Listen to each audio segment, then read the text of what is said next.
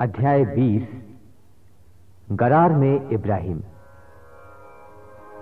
इब्राहिम वहाँ से नेगेव प्रदेश की ओर बढ़ा और कादेश और शूर के बीच में बस गया।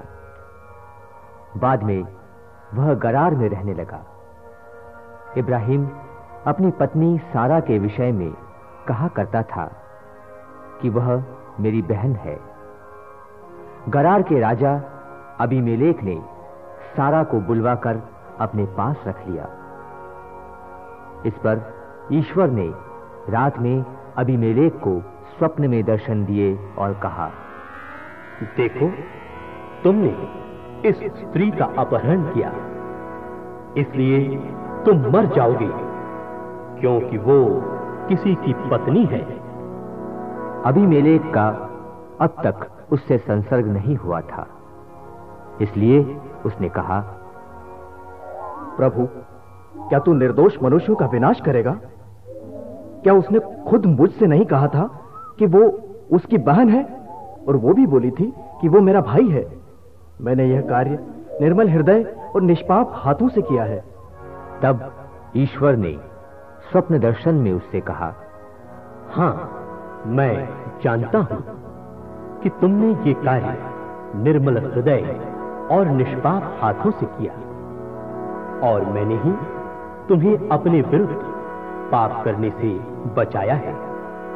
इसीलिए मैंने तुमको उसका स्पर्श तक नहीं करने दिया। अब उस पुरुष की पत्नी को उसे लौटाओ, क्योंकि वो एक नबी है।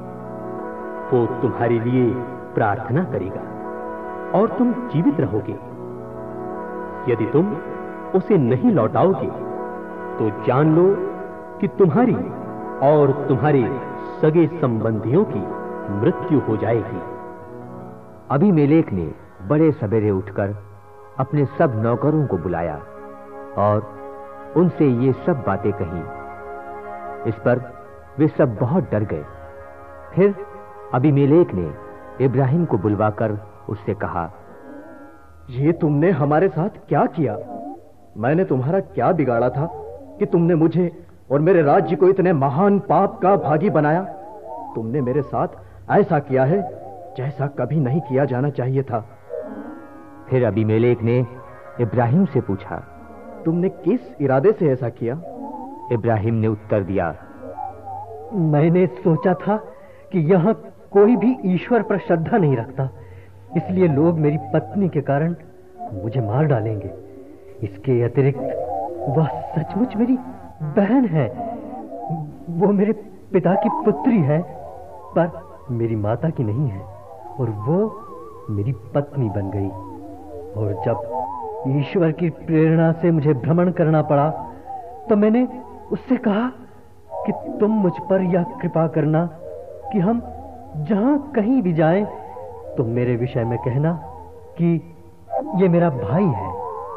इस पर अभिमेलेक ने इब्राहिम को भेड़ें और बैल दास और दासियाँ भेंट की और उसे उसकी पत्नी सारा को भी लौटा दिया। अभिमेलेक ने कहा देखो मेरा देश तुम्हारे सामने है। तुम जहाँ चाहो रह सकते हो। उसने सारा से कहा देखो मैं तुम्हारे भाई को इसलिए एक हज़ार चांदी के सिक्के देता हूँ कि तुम्हारे साथ जो अन्याय किया गया है, उसका तुम्हारे सब संबंधियों की दृष्टि में प्रायश्चित हो और तुम सबों की दृष्टि में निर्दोष प्रमाणित हो। सब लोगों के सामने तुम्हारा न्याय किया गया है। इसके बाद इब्राहिम ने ईश्वर से प्रार्थना की और ईश्वर ने अभिमेलेक उसकी पत्नी तथा उसकी दासियों को स्वस्थ कर दिया, जिससे फिर उनको भी संतानें होने लगी। क्योंकि प्रभु ने इब्राहिम की पत्नी सारा के कारण अभिमेलेक के घर की सब स्त्रियों को बंध्या बना दिया था।